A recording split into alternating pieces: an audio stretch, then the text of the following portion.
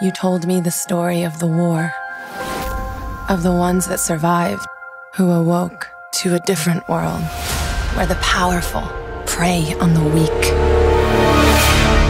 But that's not the way it has to be.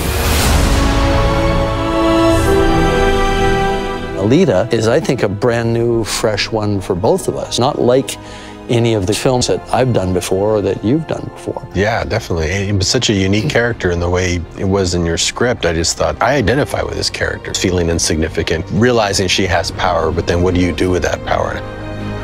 How do you decide your own morality and your own values to, Right. really direct the awesome power that you can possess?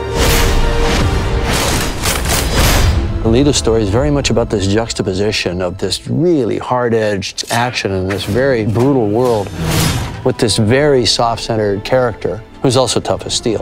So anyway, I fell in love with that and pursued the rights. I wanted to direct, as you know. We were talking one day and you said, what do you got? I said, well, wait a minute, if you're going to be doing just avatars, well, what happens to like Yeah. Battle Angel? There's a second in there where I, I thought, I want to see Battle Angel.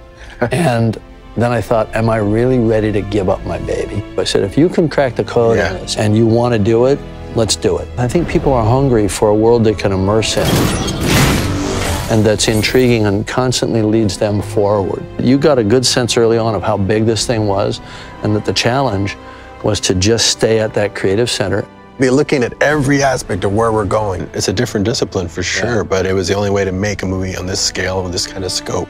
I think of all the movies I've done, this is the one by far where I felt that an audience member. So much is being done, tweaked by Weta, and when I'm seeing the shots come in, I can enjoy them like I'm seeing them for the first time. Yeah.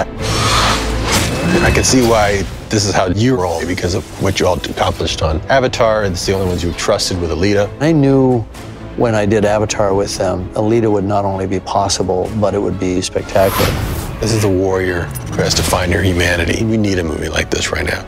You always need a movie like this. I do not stand by in the presence of evil.